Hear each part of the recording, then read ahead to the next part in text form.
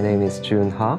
I am a mathematician at the Institute for Advanced Study. Ever since I was a child, I had a strong desire to create something. At first, I thought that my passion was in writing, it's in art form, like poetry and novels and so on. But in a sense, that was too emotional to me. I was looking for something more structured.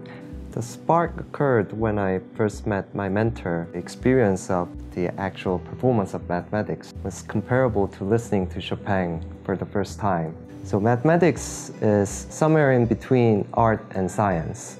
And as a person who is closer to the artistic side of mathematics, it is very meaningful to know that the society recognizes what we are doing. It is a huge honor to receive the award from the Blavatnik Family Foundation.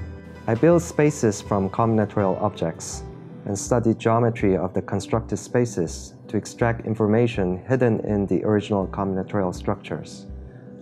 My ultimate goal is to narrow the gap between two primary modes of mathematical reasoning, the discrete and the continuous, to the point where the two are no longer distinguishable.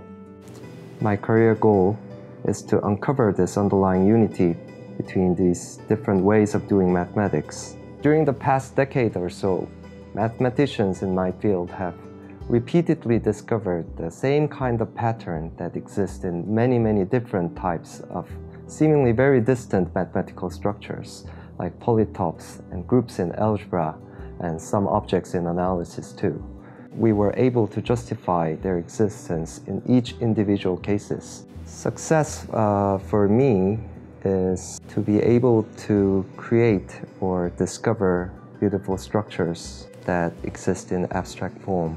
I do believe that what we are doing will have a positive effect to the society as a whole in the long term, just in the way that other forms of art and pursuit of beauty and structures has a positive effect on the progress of humanity.